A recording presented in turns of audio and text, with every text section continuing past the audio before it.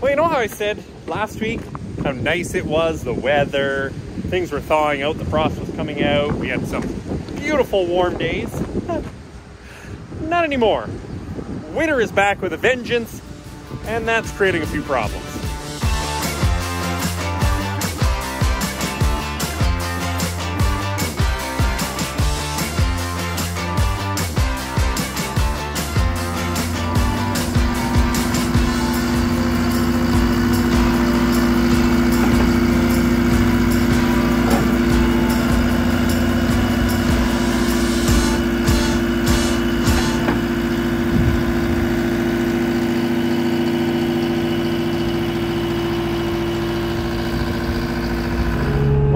Having a brand new skid steer and putting it through this mess on day one. But I don't know what else you do because I really like when we test drive that one. What was it? August? Going back to that August video, I don't even remember.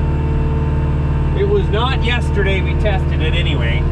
And just like it takes a long time to get in a car or a truck or whatever, it's the same thing with farm equipment. And this skid steer has been a little while in the making, but we finally have it. And for all the dirt we have to move in the next few days, it could not have come at a better time.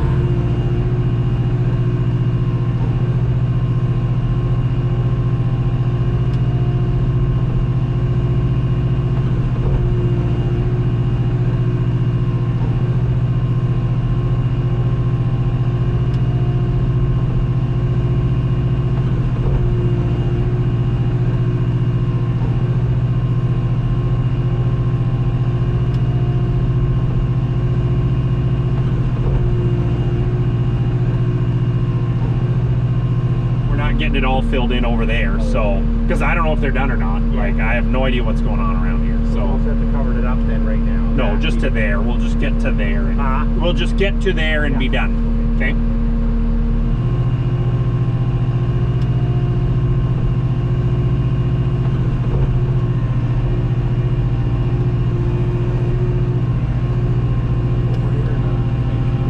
Kind of getting soft here.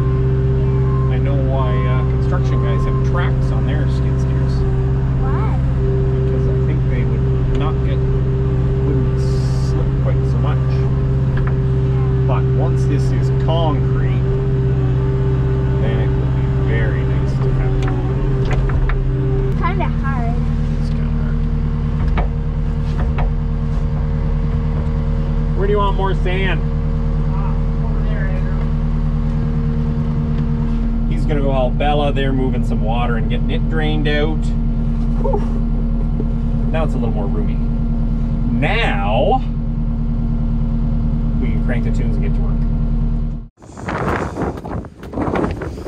So, as you can see, this is all frozen up again, which is not real helpful. Here, I'm gonna get out of the wind. This is insane. Um, it's frozen up again, which is not ideal. And in, I don't know, it's been 36 hours below freezing, um, below zero Fahrenheit last night, um, which means everything is frozen solid back in the barn. So all that digging, the trenches, all of that are frozen. What do we do now? That's the puzzle.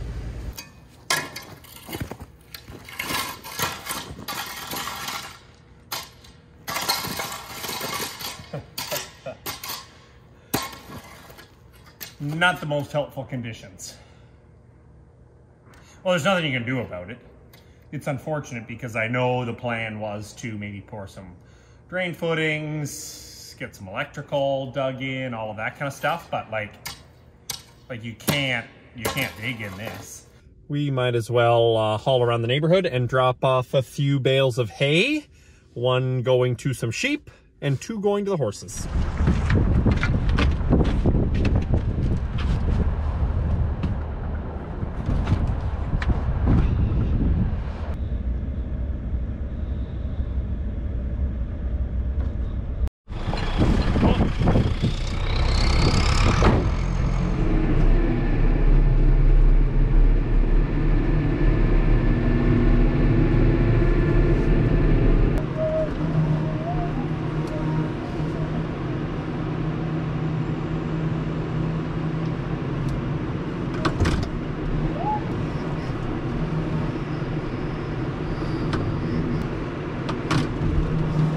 This actually might be a first for me, is dropping a bale off and not having any of the horses come and grab it. That is how cold and windy and snowy it is.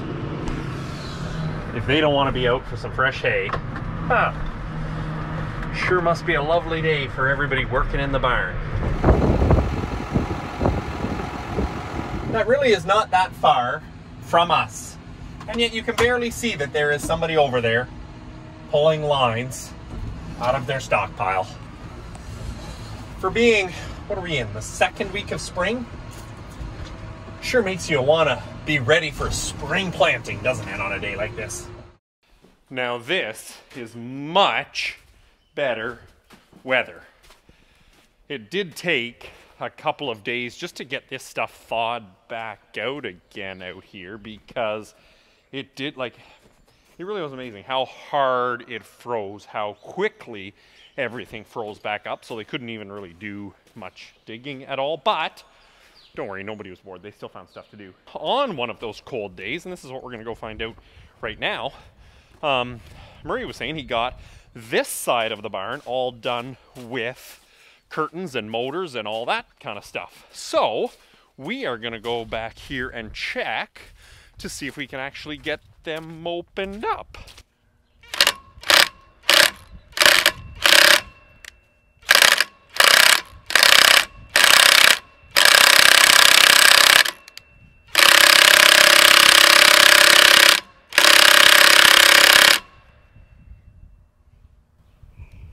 Is that doing anything?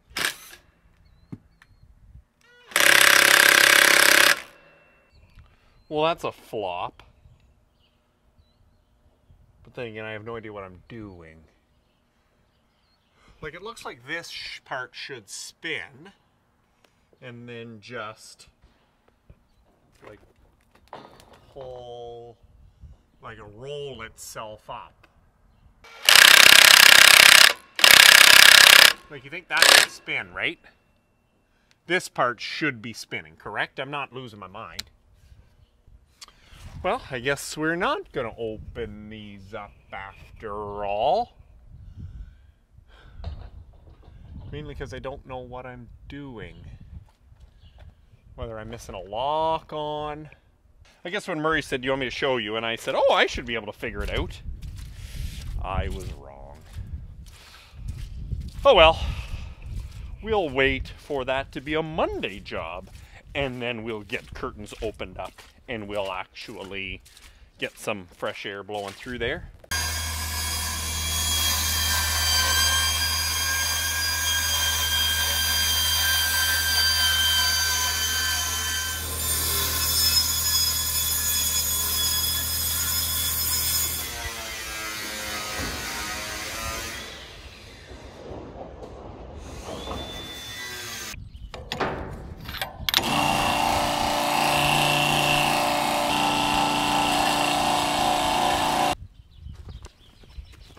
Another dumpster filled. That's the second of those big dumpsters that we have filled. And my advice if you were ever building something like this is get one of those off the bat, like at the beginning of the job, because I think in our minds we thought, oh, we can keep up with, you know, burning the wood, uh, sorting out the metal, the leftover scrap metal into the metal pile, and then we've got a little dumpster, so you know it'll keep up with the rest. And that was outrageous to think we could catch up with it uh, or keep up with it. And so we've been trying to catch up now with the fact, you know, finally just get the dumpster and throw most of the stuff in there. But it's full. They're not coming to pick it up for um, another couple of days. So instead, it is a nice day. Let's let's at least get the burn barrel for, you know, save a couple of buckets worth of scrap lumber.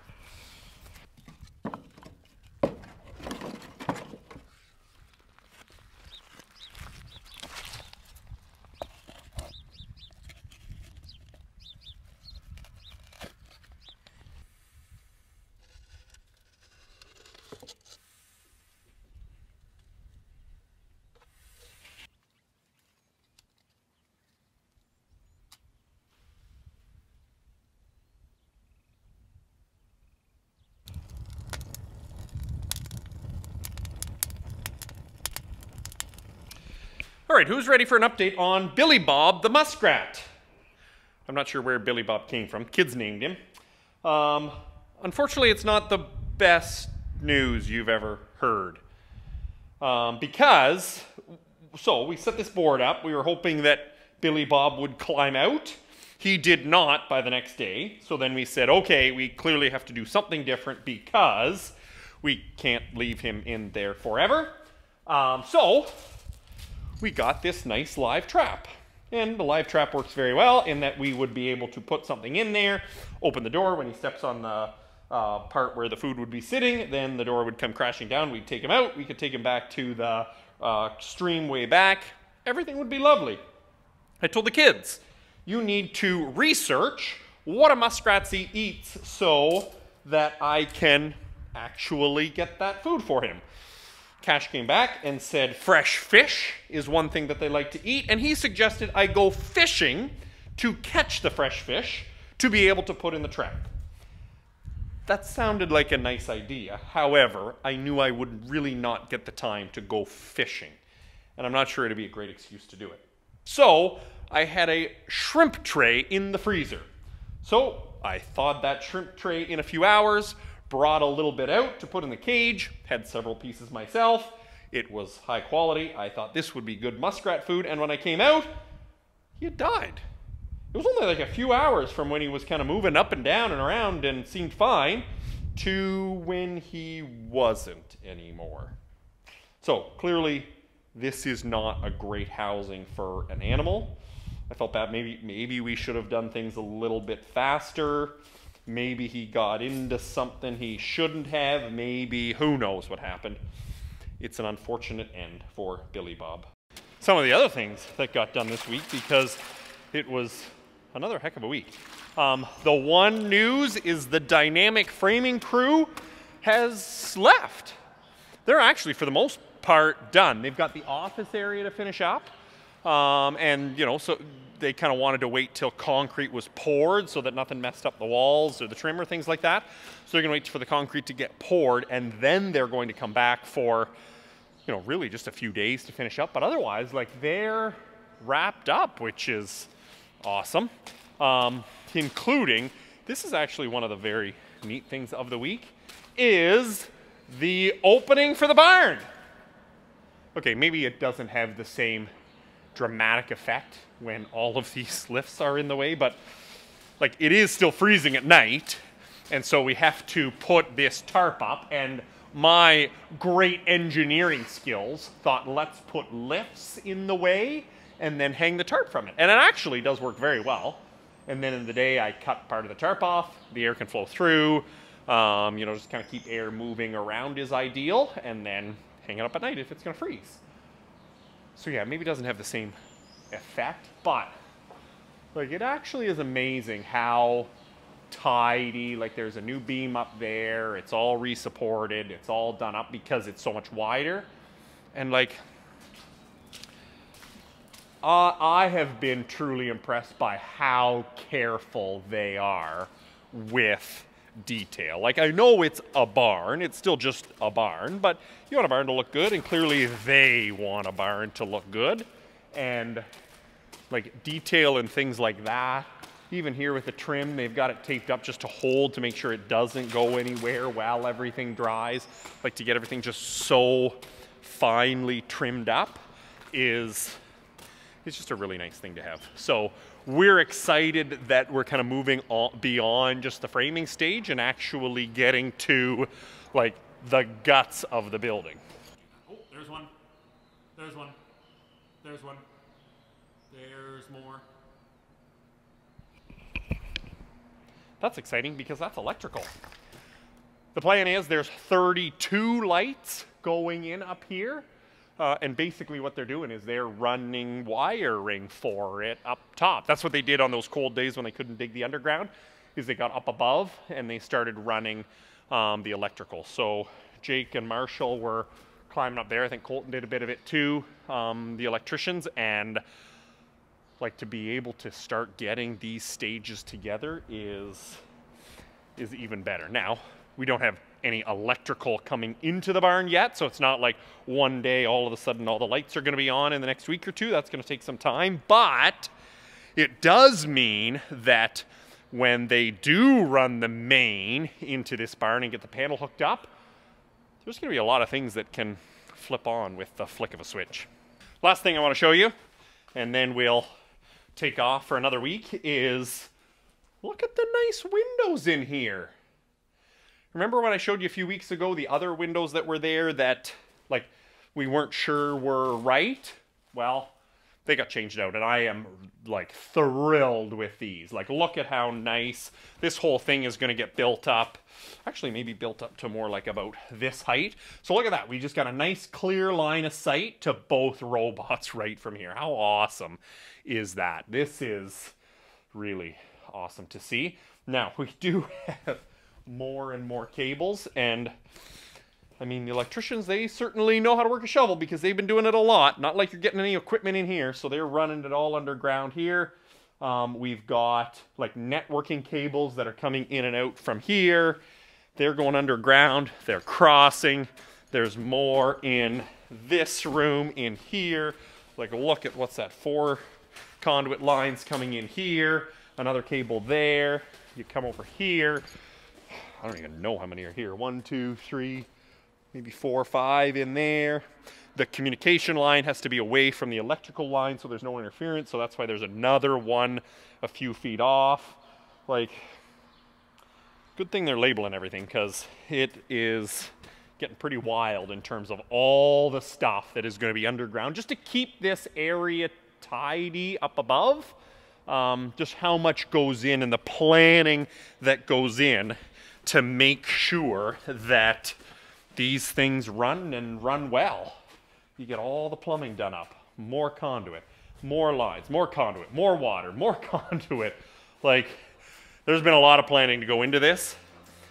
And the fact that this is coming to this stage, getting some grade to it and all that, fingers crossed. If it stops freezing at night, we might get some concrete poured.